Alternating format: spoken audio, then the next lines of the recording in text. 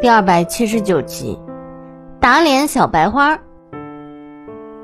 正想着该如何扭转局面，周雪儿想起怀里的乖乖，眸光暗淡的道：“对不起，可能是乖乖的皮肤病越来越严重，我心情不太好。”林展见状心软下来。好了，大大家也都别多心了啊！雪儿不是故意的，她就是着急给乖乖治病。周雪儿抬眸看向周围人，除了林展，几乎都是无动于衷的表情，心中有些怪异。平时这个时候，大家都应该发自肺腑的夸他善良才对呀。他知道说多了反而刻意，可现在这种局面，不说又不甘。想罢，他动情道。不管乖乖的病能不能治好，我都不会放弃他的，哪怕他的皮肤病传染给我，我也不会放弃的。虽然这样说，但他其实早就查过，犬类的疾病是不会传染给人的。他边说边将乖乖举起，用脸颊蹭着他的皮毛，语气十分心痛。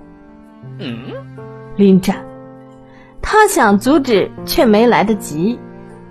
素野意味不明的看了眼周雪儿，漫不经心道：“能有这份决心不易。”周雪儿以为苏野真在夸她，暗自笑了笑，还是这招好用。确实不易。一旁许久未出声的薄云里早就看穿了他的伎俩，神情松倦，慢吞吞道：“毕竟，像细小犬瘟这种犬类疾病。”确实不会传染给人，但皮肤病会。温妮点点头，小野的未婚夫还挺懂。周雪儿刻意拿脸颊蹭小狗皮毛的做法，不是缺乏常识，就是哗众取宠。周雪儿闻言，举着乖乖的手明显一僵。她一直以为犬类疾病不会传染给人，才敢这样。难怪她最近总觉得浑身发痒。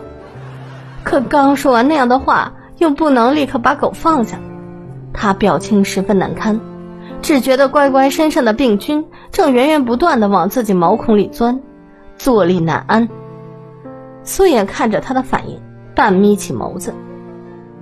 不论如何，乖乖是无辜的，小狗不过是五六斤的样子，很小很瘦。几分钟之后，苏野换了间屋子，戴上医用手套。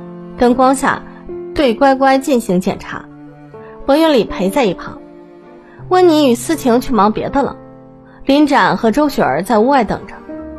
林展原本要说带周雪儿去洗下脸，但周雪儿忍着难受，硬说不用，不然太打脸了。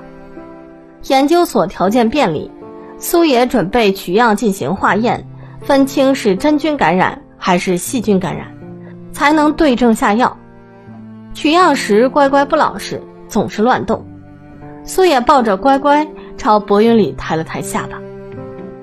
薄云里明白他的意思，没说什么，从一旁抽出两只手套戴上，接过乖乖。对他来说，这只浑身不对称、脱毛、皮肤病极为严重的小狗，绝对是他的死穴，洁癖、强迫症双向死穴。更何况，他本就不是一个富有同情心的人。但是，唉，只要苏野喜欢，乖乖随时就能变成博九的弟弟。苏野拨开乖乖的毛，开始取样。他不时朝博云里看一眼，见他表情紧绷，似乎还屏住了呼吸，嗤笑一声：“ 怕他咬你，你还怕咬？你不是最喜欢被咬？”博云里挑眉。小姑娘这是在说她那晚让他再咬一次的事儿。薄云里意味不明的盯着他，他侧脸低头取样，头发别在耳后，漂亮的耳垂露了出来，清秀又干净。耳垂上鲜嫩的皮肤在灯光下染成淡黄色，小小的金色绒毛软绒绒的，很是可爱。我从来没有说过喜欢被咬。薄云里俯身凑了过去，贴着他的耳垂，语速缓缓，循循善诱。我只喜欢你咬我。他有意无意的暧昧咬中了“你咬我”三个字。离开时也不知是有意还是无意，他薄唇擦着他的耳边离开，微凉的触感蹭着他的耳窝，稍纵即逝。素野的眼皮儿颤了颤，手上的动作一顿，他的唇是凉的，他耳边却是热的，微微的窒息感蔓延开来。门外，周雪儿和林展并排坐着，林展正在低头打游戏，周雪儿忍着脸颊上的瘙痒，有些心不在焉。苏野，姓苏，他们周家和苏家还真是水土不服。之前他就听奶奶提过，他们周家以前是开报社的，原本做的风生水起，后来被一姓苏的家族压制，说他们炒作不实新闻。报社的生意越来越差，当时奶奶手下有一个姓顾的编辑，吃里扒外，一直在帮苏家，后来被奶奶开除了。最后苏家恶有恶报，丑事被人揭发，一个姓荣的人将那些证据爆料给他们报社，报社借着报道苏家的头条，最后又赚了一大笔，也就是靠着这笔钱，周家才能移民 S 州发展。小祖宗们，第二百八十集，谁爱洗谁洗。只可惜，随着网络媒体的迅速发展，报社这种产业很快就被时代淘汰。周家也如江河日下，日暮途穷。周雪儿知道，父母倾尽全力培养她，是对她寄予厚望的。思绪刚要飘远，脸颊忽然瘙痒起来，都怪乖乖。害得他今天这样狼狈。就当他表情渐渐阴冷，突然听到旁边响起林展的叹息声：“唉，真为乖乖的命运感到担忧啊。”周雪儿一顿，输得心虚。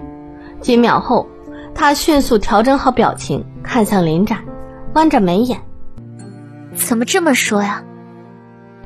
林展结束一局游戏，啊了一声，开玩笑道。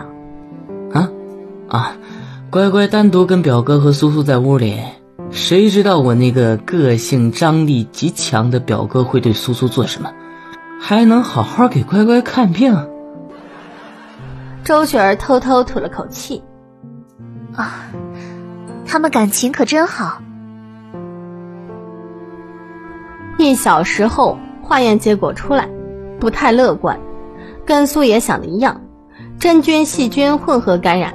乖乖太瘦，抵抗力太弱，对症的药膏苏野要等到回别墅再配。他先给乖乖开了些现成的药，研究所没有，林展出去买的。林展看着药单，觉得挺稀奇，开的这些药有宠物用的，有儿童用的，有的是跟皮肤病有关的，有的压根儿跟皮肤病没有任何关系。但这正是苏野神奇的所在。只有完全精通药理的人才敢这样搭配，这些稀奇古怪的药配在一起，反而能起到最好的疗效。同时，苏野这边，他找了个电推子，戴上口罩给乖乖推毛。皮癣严重的地方，周围的毛发要多推掉一些，方便上药吸收。固定乖乖的任务，还是交给博大总裁。总裁肯定是不喜欢狗的。但是狗，貌似很喜欢他。乖乖在他的手里一点儿也不乱动，很听话，就跟遇到了同类一样。这是骂总裁狗吗？结束后，乖乖睁着圆圆的眼睛，老老实实的坐在台子上，歪着头盯着面前两个颜值超高的人类。他这会儿醒了，稍微精神一点，该推的地方推完。乖乖毛茸茸的头顶一边高一边低，很朋克。身上的毛更是一块一块，参差不齐。薄云里尽量克制自己不去看它，可这狗偏偏就喜欢它，奶声奶气的汪汪的叫着，还往他身上凑，想让他抱。薄云里不小心跟他对上眼，头皮一阵发麻。反正也搞完了，他直接摘了硬手套扔进垃圾桶，走到屋内洗手台处洗了下手，然后看向苏野：“你也来洗。”哦。素野哦了一声，随便挤了点消毒洗手液，洗得很敷衍。洗完，甩甩手，转身就要离开。重洗。薄云里毫不留情地叫住他。素野回头睨了他一眼，想着这是温妮的地盘，不是在家，别跟他一般见识。然后不情不愿地回到洗手台前，又挤了一遍洗手液。薄云里就挺严厉的，他盯着素野的动作，指缝没洗。素野咬咬牙，搓了搓指缝。还有指甲、手背、手腕。操！素野抬手，啪的一声关上水龙头。得寸进尺，谁爱洗谁洗，姑奶奶不伺候了。薄云里垂眸盯着他撂挑子的小表情看了半天，忽然轻笑一声，重新打开水龙头，半强制的扯过他的手，将他的手拽到水流之下。不听话，那就亲自给他洗。他仔仔细细的清洗干净他每一根手指。苏野倒是没挣扎，只是有些不自在的别开头。薄云里动作不紧不慢，看起来挺懒散。两人的手指在水流下纠缠在一起，白色的泡沫从苏野的指缝间溢出。他的表情渐渐耐人寻味起来，但面上却不露声色。洗好，关上水龙头，抽了几张纸巾帮他擦手，然后松开他的手，若无其事的后退一步，似乎在故意拉开他们之间的距离。他怕自己忍不住，脸也洗一下。苏野撑了撑眉心。洗脸干什么？我给他推毛的时候戴口罩了。薄云里指了指他眉眼内区，挺不好商量的样子。还有口罩遮不到的地方。素野歪头挑眉，逆着薄云里，难怪要站在离自己十万八千里的地方。原来这个洁癖是嫌自己刚刚给乖乖推完毛脏啊！他勾唇邪肆一笑，非但没有洗脸。反而身手敏捷的朝薄云里扑了过去，哼！他扑过去的瞬间，薄云里下意识又后退一步，后背靠着墙壁。见他这副反应，苏野兴致更浓，直接扑到他身上。薄云里控着他的肩膀，他就挣扎着往他怀里蹭，直到整张脸都结结实实的贴到他胸口上，蹭啊蹭啊蹭啊蹭。非要将脸上不存在的细菌都蹭到他身上，将他逼疯。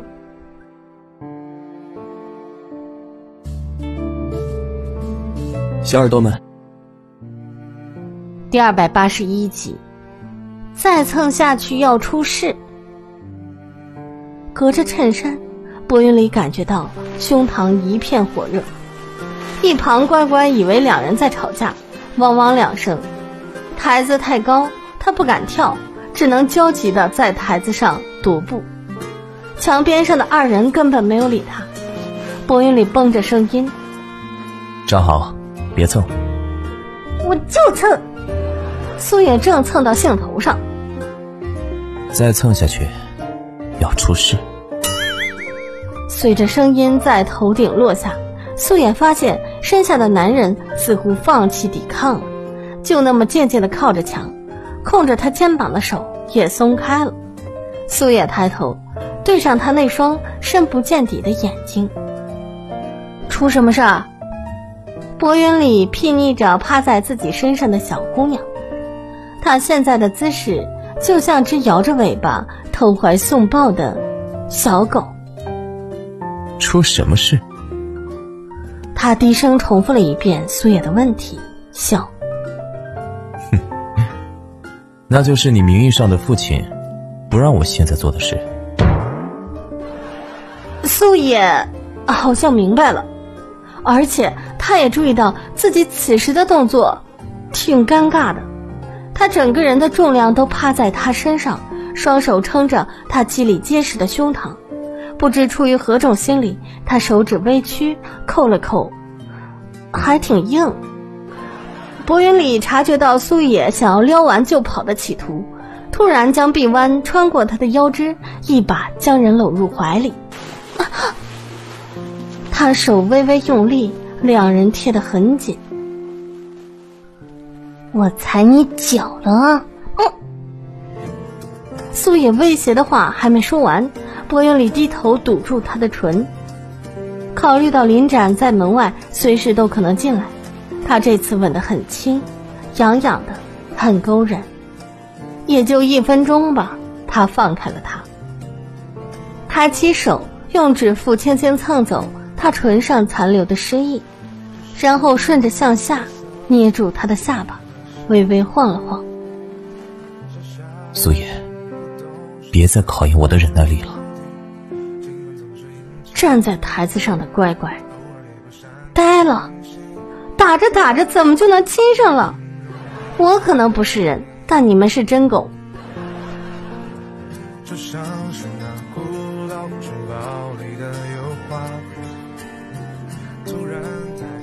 完事之后，苏野叫门外的人进来，然后告知周雪儿配药比例和涂药方法。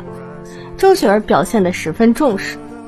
甚至将苏野的话都记在手机备忘录里，就怕哪一点疏忽。他记的过程中，苏野下意识地抬手摸了下唇，又瞥了眼薄云里，这人怎么恢复的这么快，就跟没事人一样。乖乖都比他兴奋，苏野差点以为刚刚跟自己接吻的是乖乖了。周雪儿将所有的事都记好，核对了一遍，然后才一脸关心地问。苏小姐，乖乖的病大概多久能好啊？苏野轻咳了一声，大概一个半月。一个半月这么久，真麻烦。周雪儿暗自扯了下唇，面上却是很宽慰的笑了。太谢谢了。苏野倚着台子，乖乖就趴在他身后的台子上。周雪儿准备抱走乖乖，苏野看看他，好像在思考什么，没让开位置。林展直接绕过来，抱起乖乖递给周雪儿，然后一副了然的看向苏野和薄云里，挑了下眉：“啊啊啊！我们赶紧撤，不耽误你们了。”市中心的公寓楼，小区装修挺小资，挺现代。一看就适合年轻人。林展一直将周雪儿送回家。幺三零三号门口，周雪儿笑得又细又软。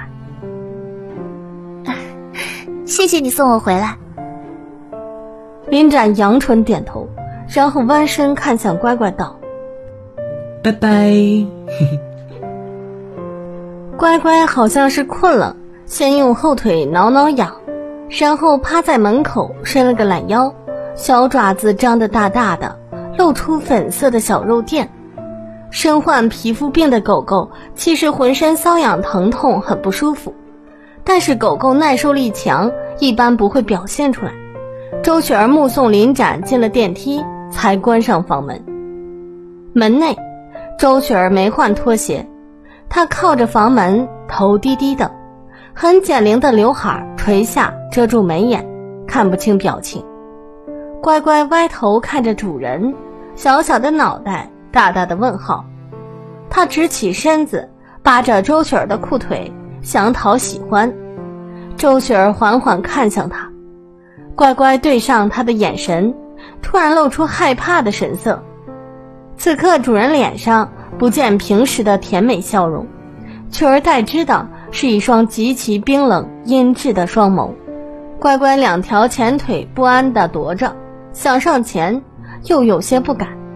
他哼唧着，汪汪叫了几声，试图跟主人沟通。周雪儿烦得不行，厉声大吼：“滚开！今天这么不顺，都是因为你，扫把星，一身皮肤病，恶心死了。”一门之隔，周雪儿完全像变了个人。此时的他阴暗可怕，甚至有些疯魔。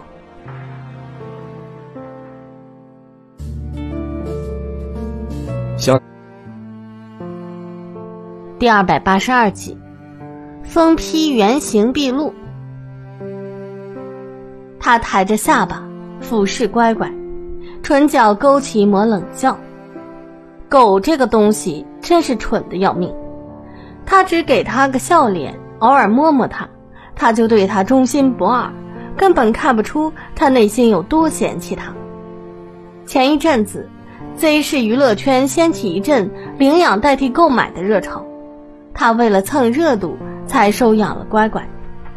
养一只狗也没多麻烦，却能给自己带来一大波赞美。现在粉丝都知道他爱狗。叫他小天使。前一阵子粉丝签书会，他把乖乖带去了，结果那天暴雨，乖乖浑身湿透，他没管。一个周后，当他再次抱着乖乖出去参加活动，却发现他得了很严重的皮肤病。本以为给乖乖治病也能上热搜，可今天他才知道，狗的皮肤病竟然能传染给人，真是好人没好报。如果自己这张脸毁了，变得跟乖乖皮肤一样，那他就完了。想罢，他将包包往沙发上一扔，怒气冲冲地走进洗手间，将乖乖关在门外。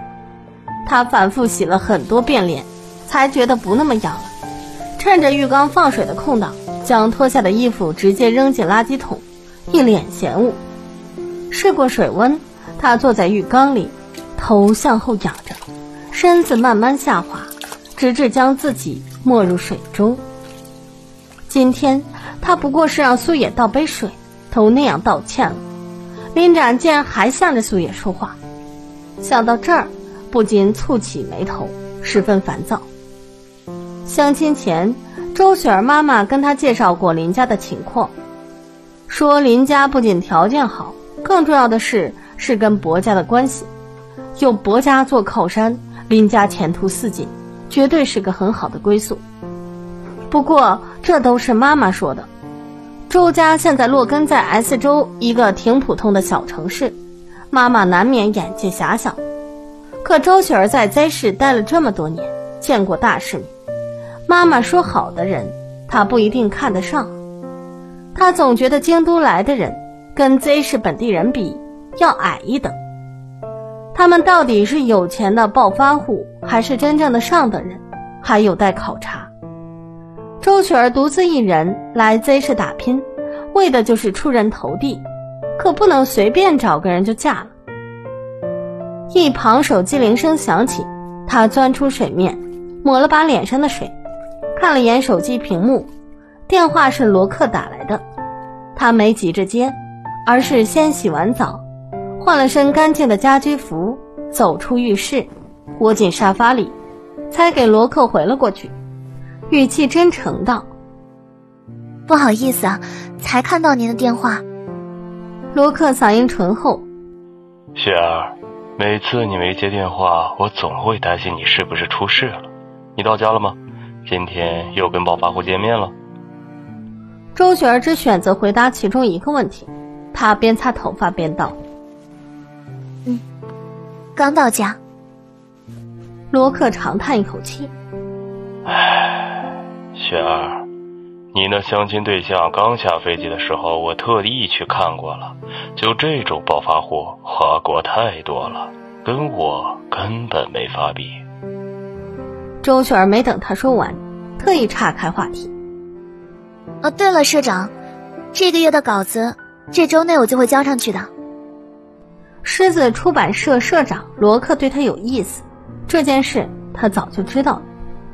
罗科的条件很好，名副其实上流社会贵族，不仅出版社搞得风生水起，而且在 Z 市政府也有不少朋友，人很有魅力。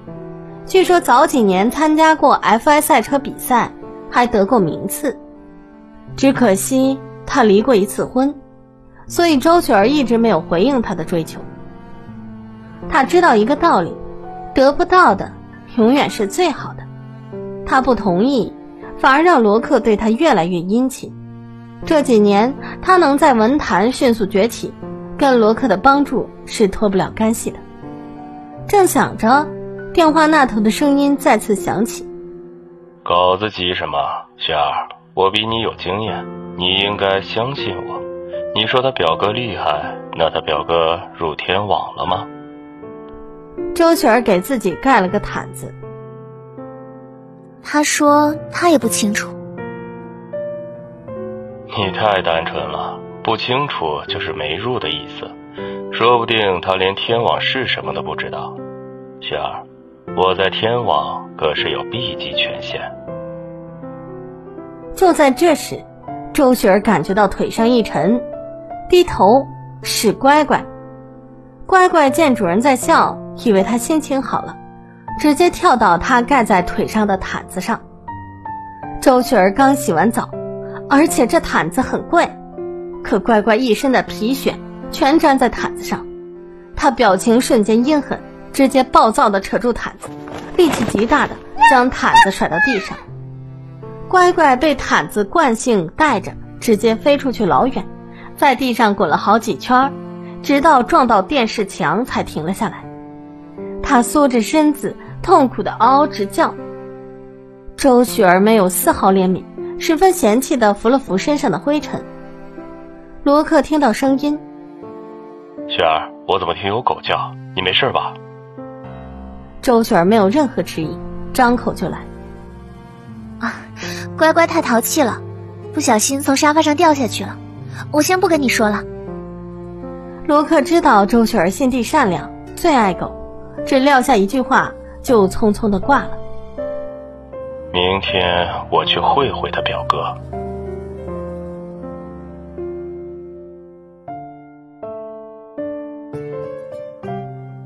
小祖宗们，右下角点赞、收藏和评论，邂逅。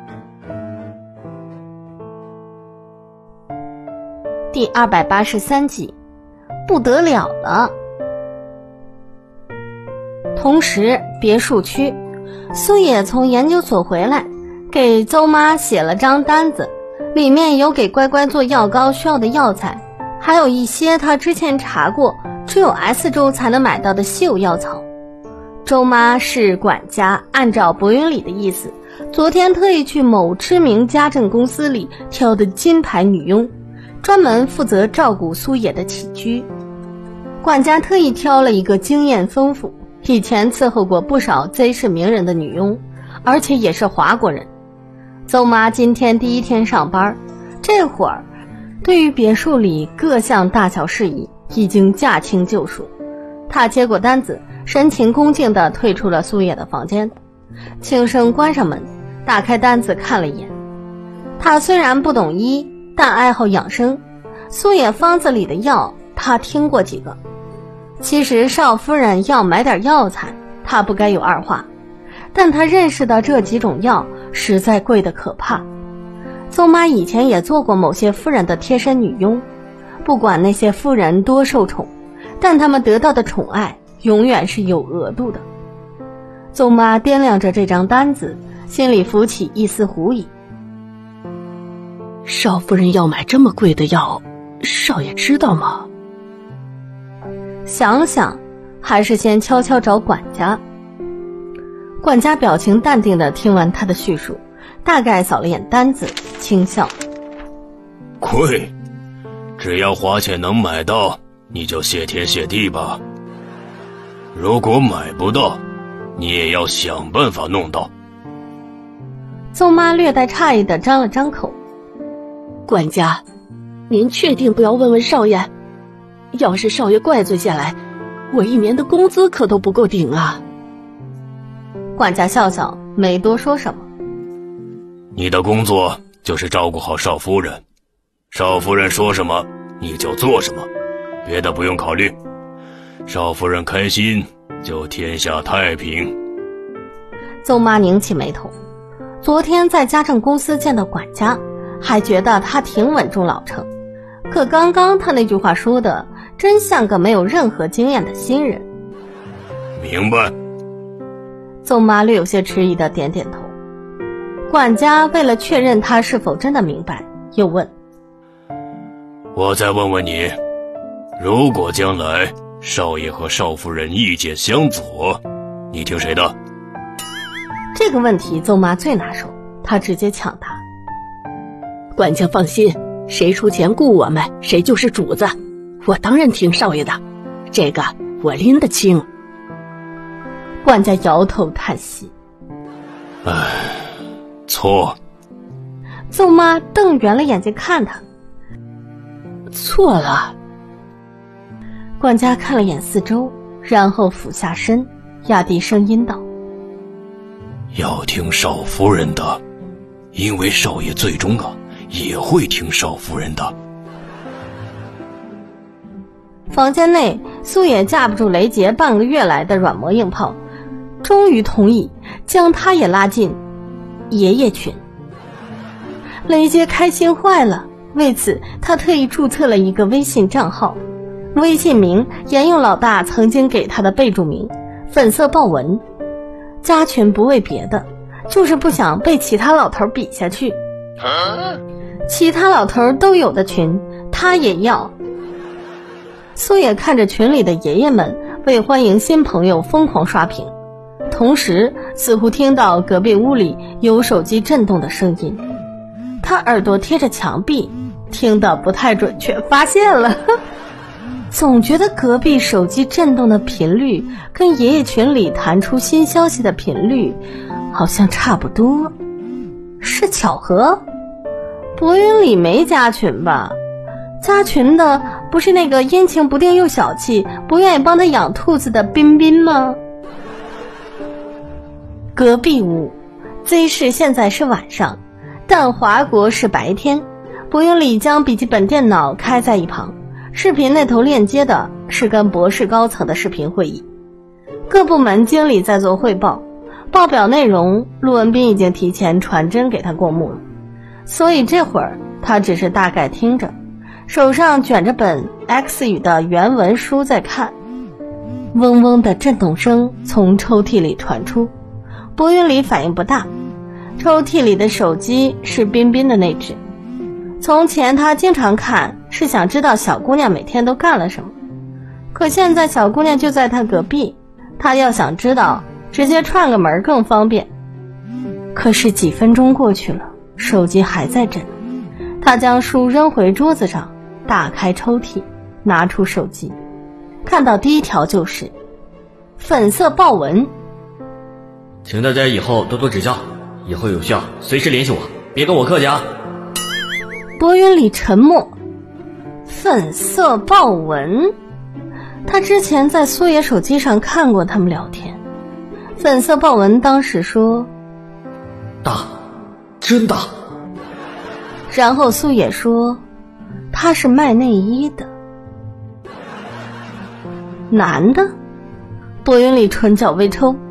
群里新消息层出不穷，博云里骨节分明的手指向下滑动着，找到了被顶掉的刚刚那条。他仔细看了一下，粉色豹纹。以后有需要随时联系我，别跟我客气。粉色小心心。这是在爷爷群里促销内衣。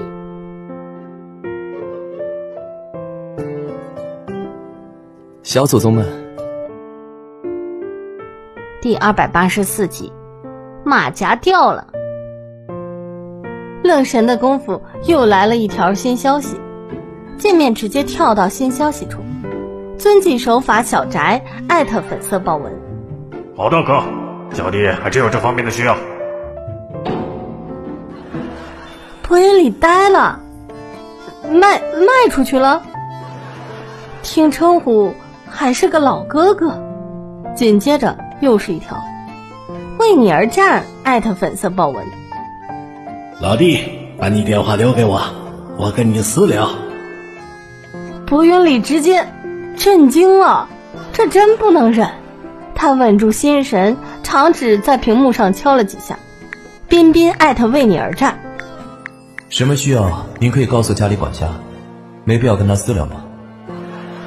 博战很快回复了：“为你而战，艾特彬彬。”我找管家干什么？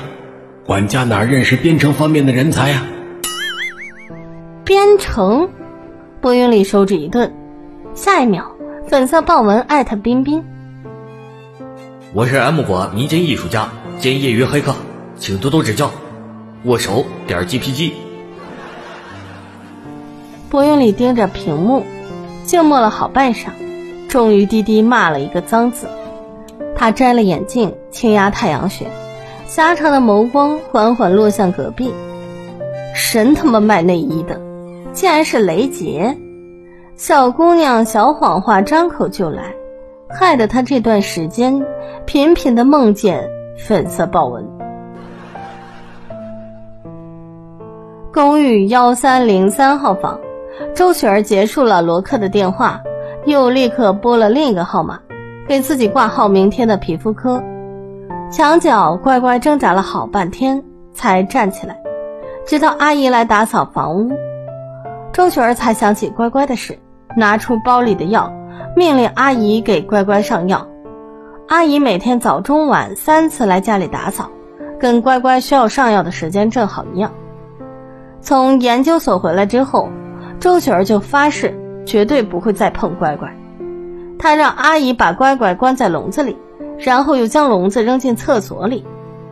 乖乖缩在冰冷的笼子里，瑟瑟发抖，两只耳朵很没精神的耷拉着。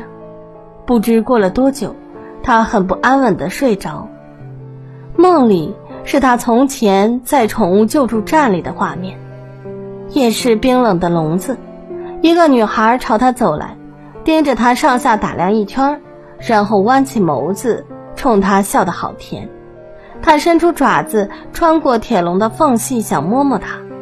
女孩边扒拉着他的小爪子，边跟工作人员说：“你好，我想收养他。”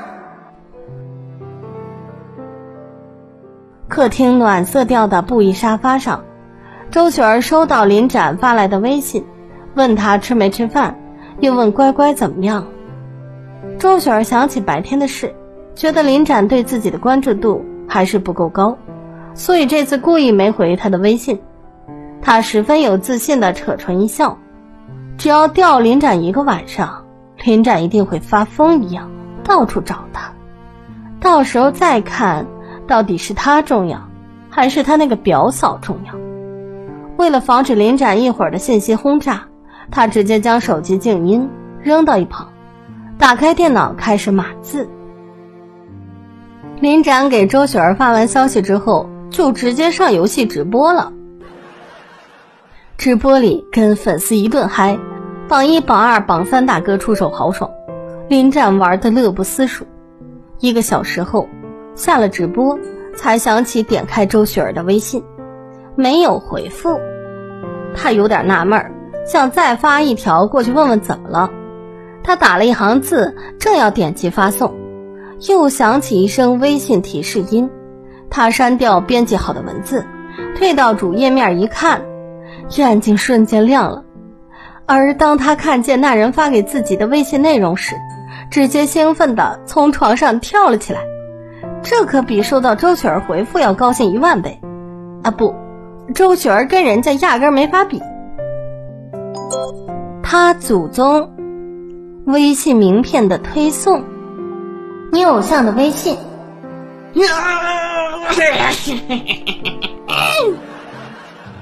林展兴奋的在床上跺脚尖叫，一直叫到没力气了，才瘫回床上，给苏野回去一条。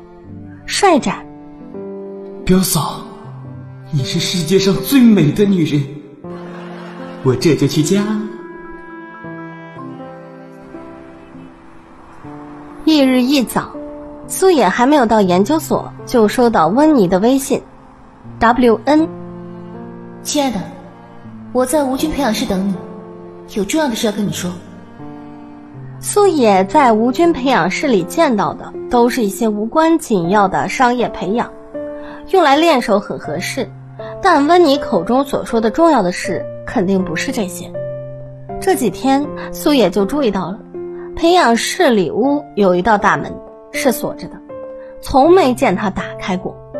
无菌培养室根据空气洁净度不同，分为不同级别，百级、千级、万级、十万级，且数字越小，洁净度越高。他平时工作的那间属于千万级，不同级别对门的材质要求不同。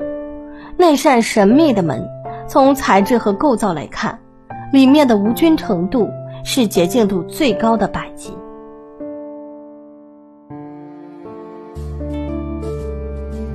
小耳朵们，本集已经播讲完毕，别忘了第二百八十五集《他们的秘密》。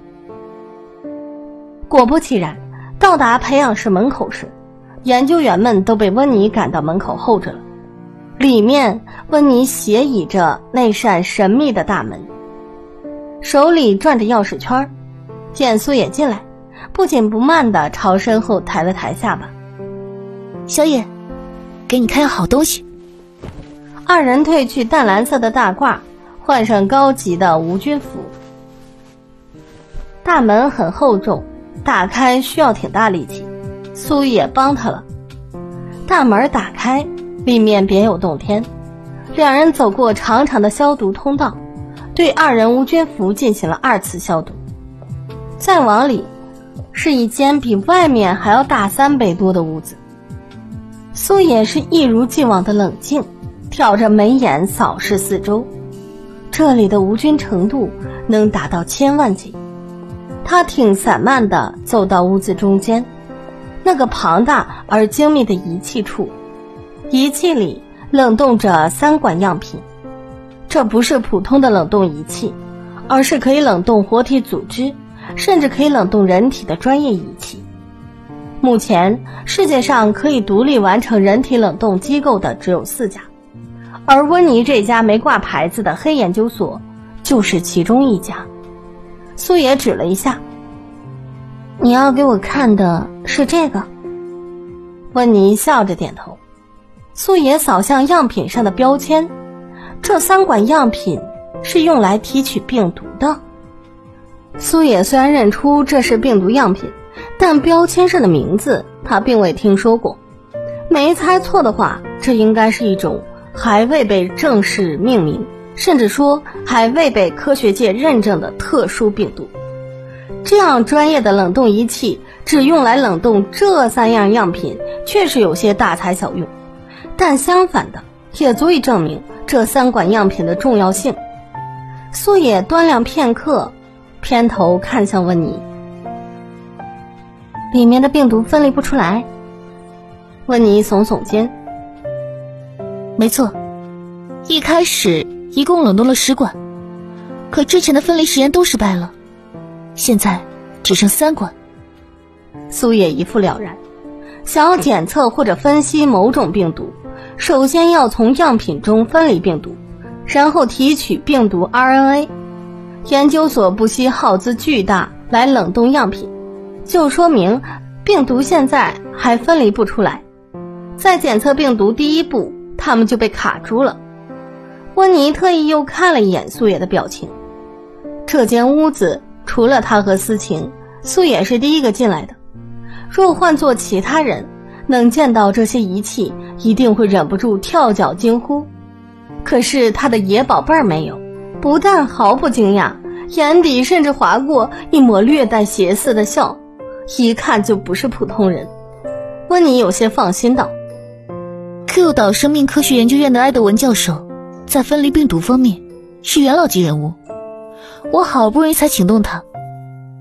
昨晚他助手临时通知我，说他只有下周末有空，可我明天要出差，下周末赶不回来，也是推不掉的重要事。亲爱的，只有交给你，我才放心。埃德文来的时候，你帮我接待一下。”行吗？苏野摸着下巴思索片刻。行。温妮总算是放心了。苏野屈指在冷冻仪的罩子上敲了敲。如果这三管都失败了，还能再找到其他样品吗？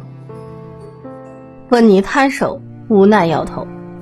苏野半眯起眸子，样品是从人体提取的，找不到其他样品，说明那人已经……他看向温妮，感染这种病毒的人会有什么症状？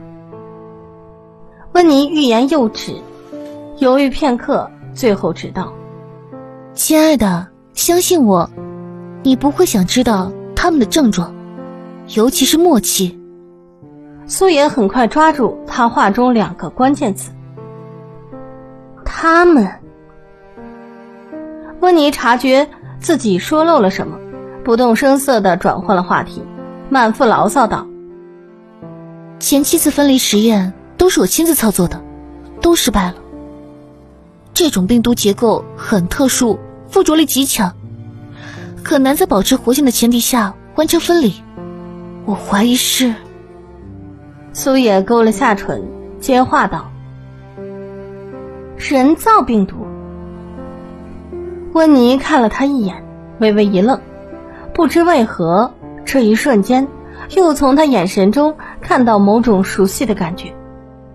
温妮离开之后，苏野回到外屋，跟研究员们按部就班的工作。研究员们都很专业，谁也不会好奇的问那间屋子里藏着什么。苏野摊开手心，看着温妮留给他礼物的钥匙，难怪研究所缺钱，常年维持这些仪器能不缺钱吗？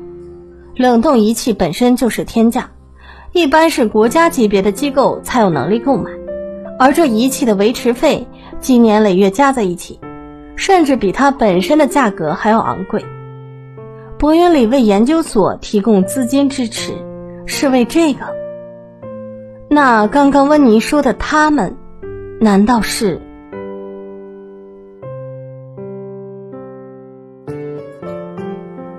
小祖宗们，右下角点赞、收藏和评论。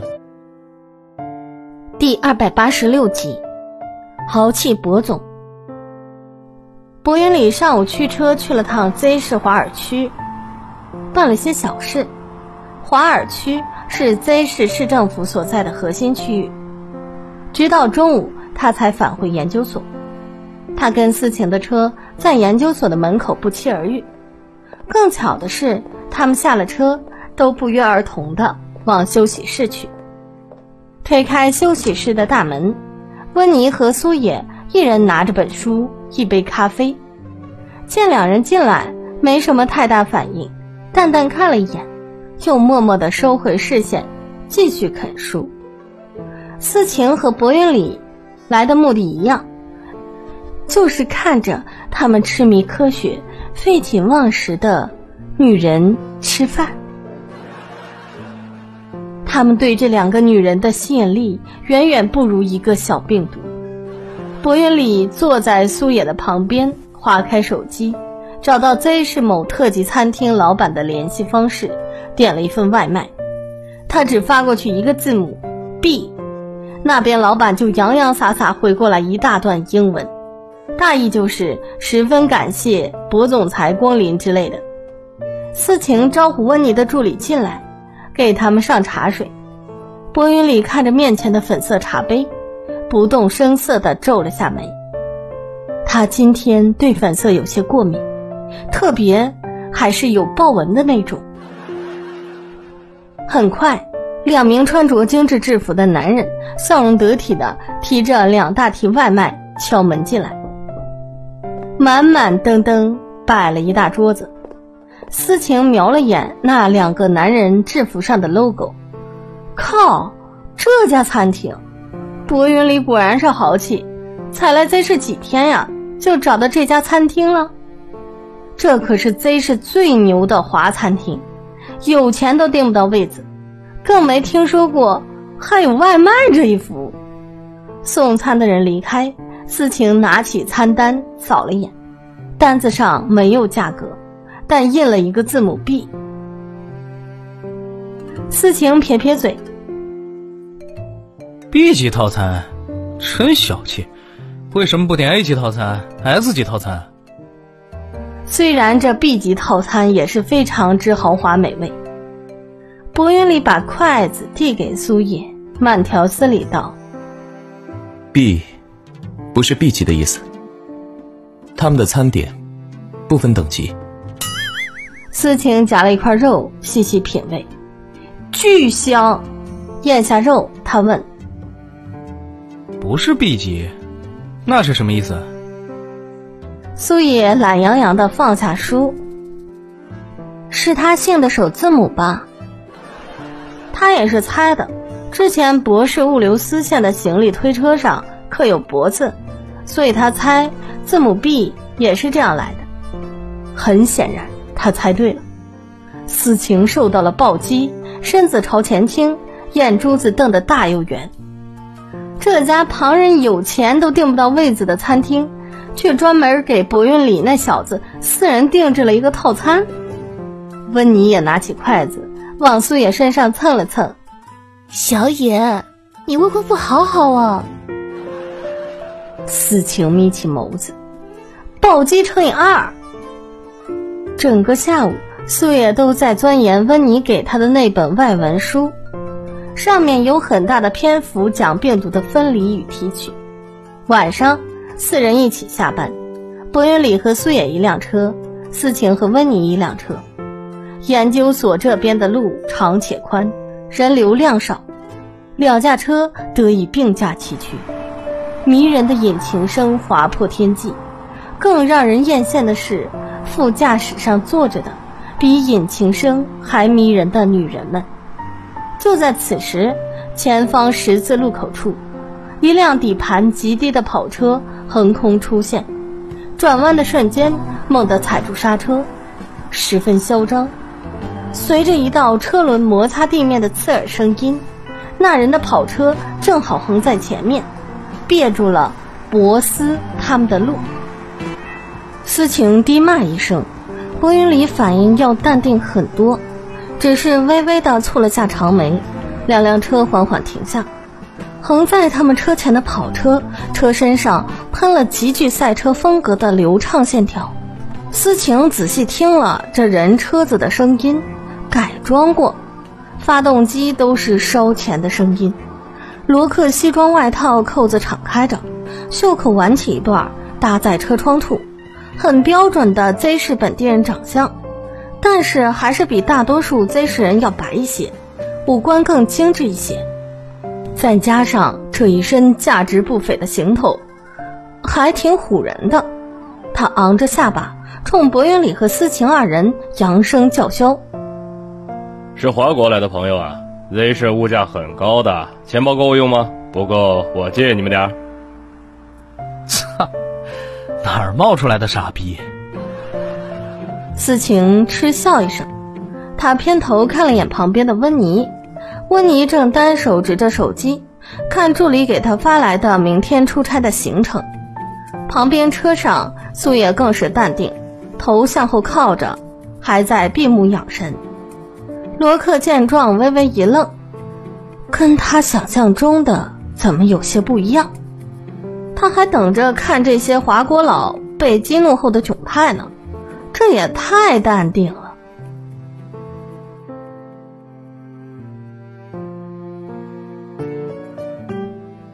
小祖宗们，第二百八十七集，大型求虐现场。刚要开口，手机显示来电提醒，是他的雪儿。反正他拦着去路，对面也跑不掉，便不慌不忙的捋一把头发，接起电话。周雪儿这边，他将写好的稿子以邮件形式发给罗克，然后借机给他打电话。别的作家都有编辑对接，知名作家还有专属编辑，而周雪儿是由社长直接负责的。整个狮子出版社谁也没有这种特殊优待。电话接通，他先是装模作样的说稿子的事儿，听到罗克说正准备跟这帮子华国人会会，他才见缝插针的问出了自己最想问的问题。罗先生，林展跟他们在一起吗？林展，啊，你那个相亲对象啊。罗克挺不屑的朝对面车里扫了一眼，没在。周雪儿抿抿唇。她今天早上起床，第一件事就是拿起手机看。本以为林展一定找他找疯了，可谁知，除了罗克给他的一条微信之外，林展那边竟然没有任何新消息。不应该呀，还有什么比他更重要的事吗？他就不担心他出事？通话过程中，思晴斜撑着额头，一直在打量罗克。这个油头粉面的老外装逼哄哄那劲儿，他绝对见过。这边，罗克对着电话邪魅一笑：“好了，雪儿，我们先办正事，先不跟你说了啊。”挂了电话，罗克看向对面二人，挑衅道：“我能听出来，你们的车也改装过，怎么样？要不要比一场？”他一说要赛车，思晴脑袋里。叮的一声，就说眼熟呢。他看向薄云里，语气稀奇道：“啊，我想起来了，这家伙是七年前 F 一比赛的季军。”薄云里反应很冷漠。罗克听对面有人认出自己，笑得更大声了。真没办法，都怪自己太火。七年前的比赛一战成名，获得季军。那可是世界级的 F 一比赛啊，季军相当牛了。他扬眉道：“别害怕，我会让着你们的。”思晴闻言着实捏了把汗，当然不是替自己，而是替罗克。七年前的比赛，不仅思晴，薄云里也在。思晴是当年的亚军，至于薄云里。不过，罗克显然没认出他们，这也正常。他们参加比赛都不用真名，而且所有选手都要佩戴头盔。非全职赛车手中，也只有像罗克这种既高调又热衷于为自己宣传的，才容易被记住。思晴挑眉看向罗克，挺斜的舔了下唇，区区季军。竟然还想挑战同一届的亚军和，哼，疯了，还是抖 M。他伸在车窗外的手拍了拍车身，薄云里漫不经心的看向他，思晴问：“要不要陪他玩玩？”薄云里没什么表情，狭长的眸子里敛着一丝暗芒。